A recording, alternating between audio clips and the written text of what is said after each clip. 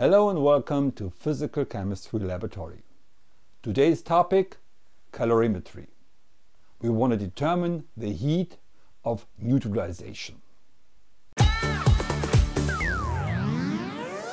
The setup of the experiment consists of a Dewar flask, a lid with heating coil, a pipette, a magnetic stirrer, a power supply unit, a voltmeter and ammeter, and a temperature sensor.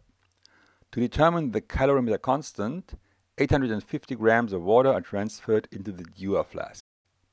The pipette and temperature probe are immersed into the water through the calorimeter lid. The ammeter is connected in series and the voltmeter in parallel with the power supply. The water is now heated electrically by means of a heating coil for 10 minutes. Starting 5 minutes prior to heating, temperature is recorded every 30 seconds, the so-called pre-period. During heating, both temperature, current and voltage are recorded at 30 second intervals.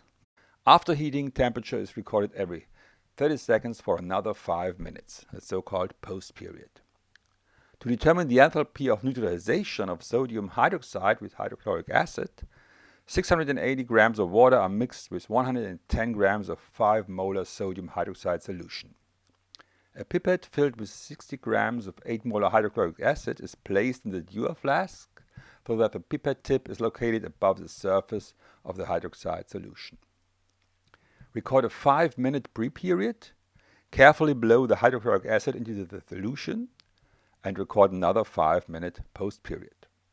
The pipette is then removed from the Dewar flask, dried and weighed. The amount of non-reacted hydrochloric acid has to be taken into consideration for the calculation. To determine the enthalpy of neutralization of ammonia solution with hydrochloric acid, this procedure is repeated analogously with ammonia. To determine the enthalpy of dilution of hydrochloric acid, 60 grams of an 8 molar hydrochloric acid are injected into 790 grams of water. The determination of the pre and post period is carried out here analogously to the previous experiments.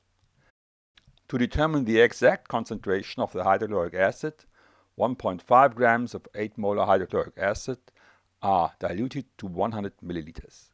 20 milliliter of this solution are titrated with a 0.1 molar KOH standard solution. More information about the experiment and especially its evaluation can be found in the textbook and in the handout. Good luck in the lab and thanks for watching.